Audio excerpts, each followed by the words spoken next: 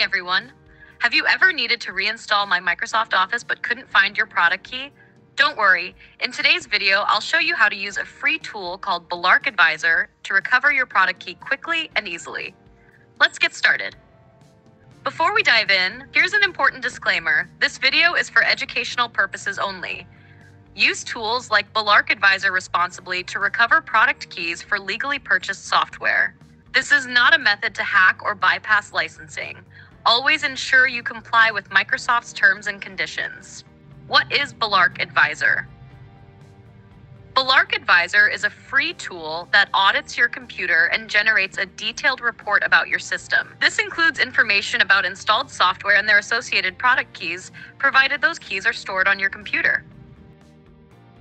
Steps to use Belarc Advisor Download the tool visit the official Belarc website at www.belarc.com slash w.belarc.com.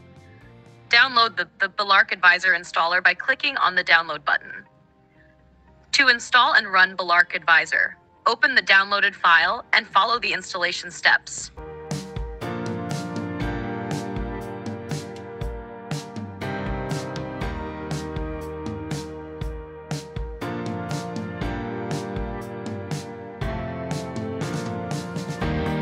Once installed, launch the tool.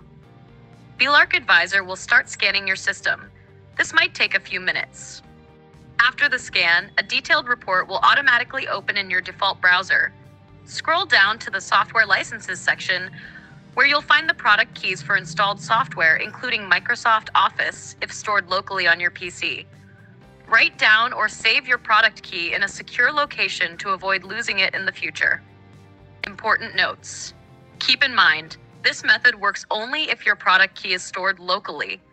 If you're using Office 365, your license is tied to your Microsoft account and you won't find a product key here. Always download Belarc Advisor from its official website to avoid unsafe or counterfeit versions.